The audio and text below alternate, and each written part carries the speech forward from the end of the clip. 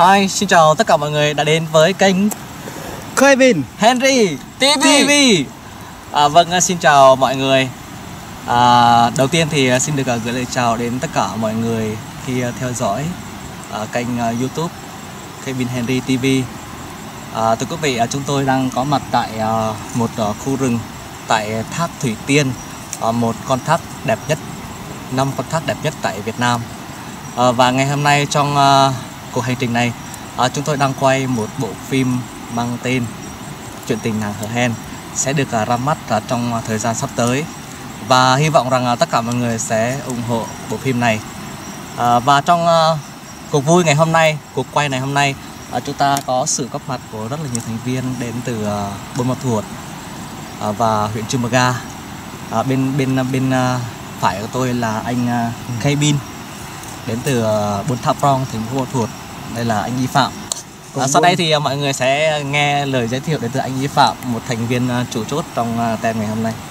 À, xin chào tất cả anh em đang theo dõi cái kênh Henry uh, Cabin TV nha.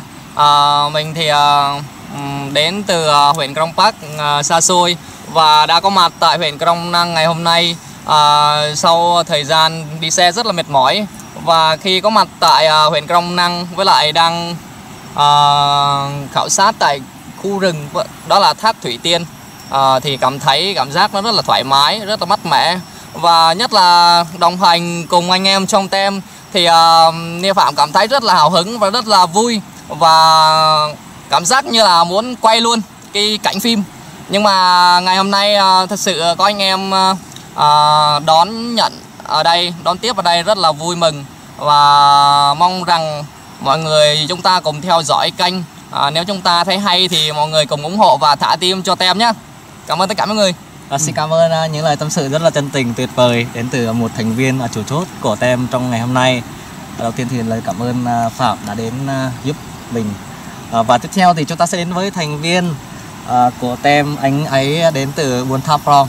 à, Đầu tiên là xin được gửi lời chào tới toàn thể các bạn đang xem kênh ở Kevin Harry TV à, Lời đầu tiên là chúc tất cả các bạn à, là lời chào.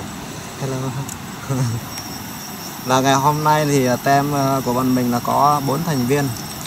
À, đây là Harry còn đây là vi phạm còn kia là Habib à, Habib à, người coi phim là ma giúp